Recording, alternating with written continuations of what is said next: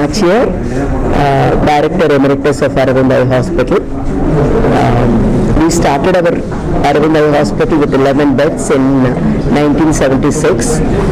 The founders were uh, Dr. Venkataswamy, uh, in fact my brother. His vision is to eradicate uh, needless blindness in the country and also in the world. So, so far we have got 86 units and now we have started one hospital in Chennai which will be reopened on 30th September. Uh, 19, I mean 2018 is uh, Dr. Venkataswamy's 100th year. So we would like to celebrate his 100th year by opening a hospital in Chennai. We have a free section, we have a paying section. The free section will take care of 60% of the eye problem and paying section will take 40% of the eye problem. And uh, our our uh, main purpose is to treat them with uh, dignity and compassion and to give a quality eye care at affordable price.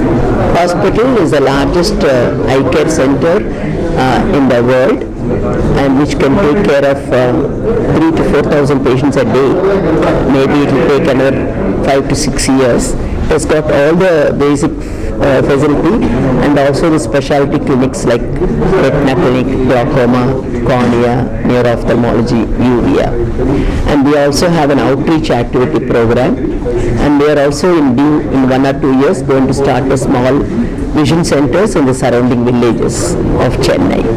This is our plan. Andhra, Dev, Tirupati Devasthanam has given us uh, 8 acres of land with a long lease and we have started the building because uh, about 10% of our patients come from Tirupati and Chittoor area. So in order to take care of them, we have opened a hospital in Tirupati which will be opened in October 1st um, next year, nine- 2019. I mean 18. Our hospitals will have 60% of free services and 40% of the paying services in every unit, including Chennai.